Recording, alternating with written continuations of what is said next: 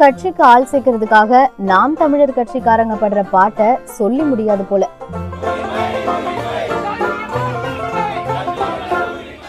தொட்டதுக்கெல்லாம் போராட்டம் பொதுக்கூட்டம் ஆர்ப்பாட்டம்னு போயிட்டே இருந்தா டெய்லி வேலையை போட்டுட்டு வர முடியுமா? அதனால ஸ்கூலுக்கு நடந்து போயிட்டு இருந்த மாணவர்களை கடத்திட்டு போய் ஆர்ப்பாட்டத்துல கலந்துக்க வச்சிருக்காரு நாம் தமிழர் கட்சியோட ராகுல். நாகர்கோவில்ல தான் இந்த கூத்து நடந்திருக்கு. நாகர்கோவில்ல இந்த கட்சி சார்பா ஐந்து மற்றும் எட்டாம் வகுப்பு பொதுத் தேர்வை ரத்து செய்ய கேட்டு கலெக்டர் ஆபீஸ் முன்னால ஆர்ப்பாட்டத்துல ஈடுபட்டாங்க. போராட்டத்துக்கு மாணவர்களை அனுமதிக்கல. போலீஸ் அனுமதிக்கலனா என்ன? நாமே மாணவர்களை கூட்டிட்டு வருவோம்னு கட்சி நிர்வாகி ராகுல் ரூம் போட்டு யோசிச்சிருக்காரு. நாகர்கோவில் பக்கத்துல தாழக்குடி அரசு தொடக்கப்பள்ளிக்கு வந்துட்டு இருந்த மாணவர்களை அப்படியே ஒரு வாகனத்துல அள்ளி போட்டு ஆர்ப்பாட்டத்துக்கு அழைச்சிட்டு போயிட்டாரு ராகுல்.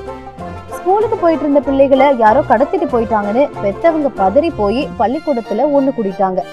தலைமை ஆசிரியரும் பதறி போய் பிள்ளைகளுக்கு என்னாச்சோன்னு அங்கிருந்த சிசிடிவி கேமரா காட்சிகளை பார்க்க ஆரம்பிச்சாங்க. இதுக்கிடையில போலீஸ்காரங்களும் மாணவர்களை தேட ஆரம்பிச்சிட்டாங்க.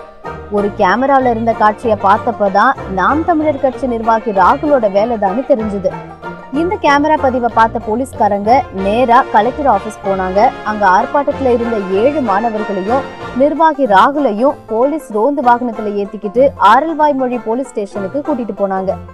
கடைசியில பார்த்தா நம்ம ஏரியா புள்ளிங்கோ தானே அதனாலதான் கூட்டிட்டு போனேன்னு பெத்தவங்க கிட்ட ராகுல் சொல்ல அவங்களும் தெரிஞ்ச பையலே இப்படி பண்ணிட்டானே கையை பிசைஞ்சிட்டு அமைதியாயிட்டாங்க.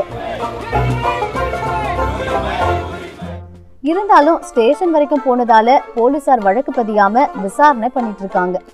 இதுல பெரிய ஆச்சரியம் என்னன்னா கடத்திட்டு போன ஏழு பேரும் ரெண்டாம் வகுப்புல இருந்து ஆறாம் வகுப்பு வரையான மாணவர்களா. இவங்களை கூட்டிட்டு போய் கட்சியை வளர்க்க நினைச்ச கொடுமைய எங்க போய் முட்டிக்கிறதுன்னு பெத்தவங்களால புலம்பதான் முடிஞ்சது.